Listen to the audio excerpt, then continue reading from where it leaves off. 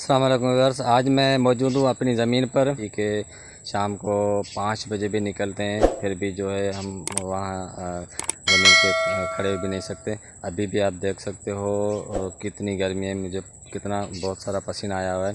तो तकरीबन साढ़े पाँच बज गए हैं, लेकिन अभी तक इतनी सारी गर्मी है कि बस मैं भी अभी जाने लगा हूँ।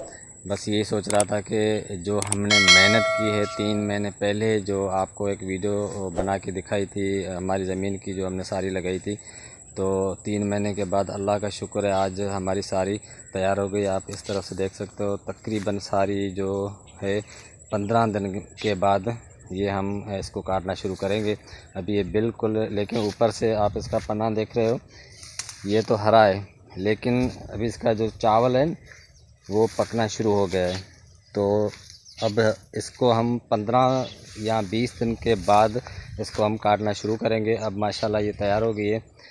तो इसको पंद्रह दिन के बाद हम काटना शुरू कर देंगे, क्योंकि ये अगर ज़्यादा दिन खड़ी रही तो ये जो सारी होती है, बिल्कुल, जो उसका चावल होता है, काला हो जाता है। तो इसको तीन से साढ़े तीन महीने के बाद इसको हम काटना शुरू करते हैं। तो बस इसीलिए मैं आया था। मैंने कहा, आपको जो हमारी सारी है वो दिखाऊँ और जो हमने मेहनत की है, वो भी आपके सामने है। अल्लाह का शुक्र है। अल्लाह ताला हमें सब सबको रोज़ी दे और जो भी हम मेहनत करते हैं, अल्लाह ताला वो मेहनत हमारी ज़ाया नहीं करता।